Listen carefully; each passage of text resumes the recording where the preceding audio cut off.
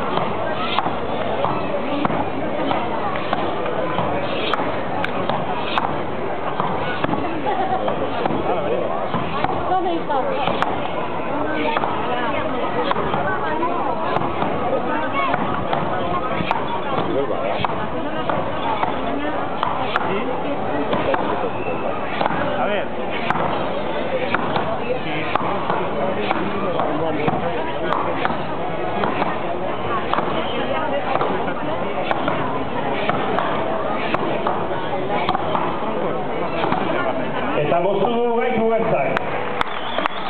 Corte que ha realizado en primer lugar Ubersa y a punto de finalizarlo Rubén Sanalek. No, no, no, no, fuera, de la calle, dentro.